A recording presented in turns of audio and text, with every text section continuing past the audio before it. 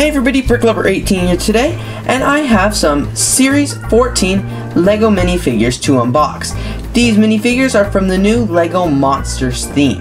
As you can see, I have two minifigures here, and I did not feel any of them, so let's open up the first one.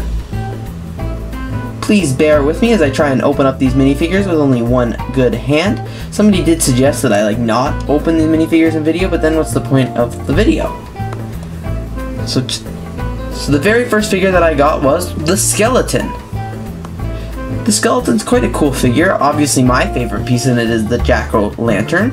Um, I'll just assemble this figure now for you. Not too many pieces, five pieces in total of this minifigure, which is I guess decent for a minifigure.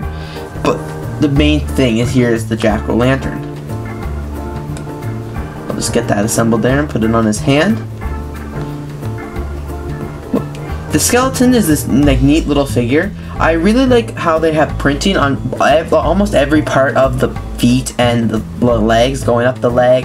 It's going on the arms. The torso like, can, takes up right where the legs left off, with the pattern continuing with the rib cage. And I really like on the top how it's got a string around the mat, like the face, to make it look like a mask.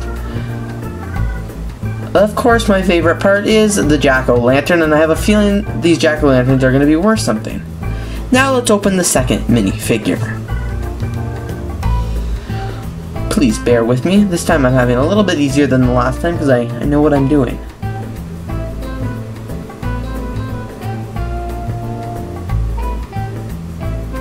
Here we go. Almost got it. And this minifigure is the Krat slash Tiger Girl.